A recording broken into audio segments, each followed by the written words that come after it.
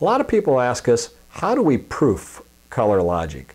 Well, in the old days we were saying you'd have to do a press proof, but with the advent now of uh, a lot of different solvent engines coming out, such as Epson, Mimaki, Roland, and uh, Mutoh, there are a lot of engines that allow us to actually do proofing with the inkjet for matching to the different printing processes we support.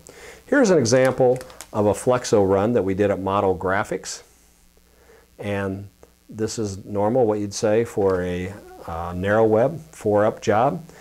And what we did is we supplied the same file to our friends at CGS, which has a, have a great RIP for inkjet proofing, and they output this on the Roland DG. So what I'm going to show you next is this is the proof that they produced.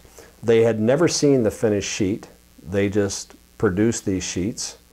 And now you can see a comparison of the Flexo print on top compared to what we got with the um, solvent-based Roland, in this case with CGS on the bottom.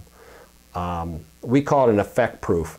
It might not perfectly match, but I got to tell you, these are so close and they're easy to adjust if you want to make them even closer. But um, just a great result, and it just shows you today that you can utilize metallics, and now with the advent of these different engines with solvent, silvers, and white, is now we have a proofing system that can greatly uh, demonstrate what's possible when you get to press. So I would like to thank uh, Model Graphics for their work and CGS for their effort.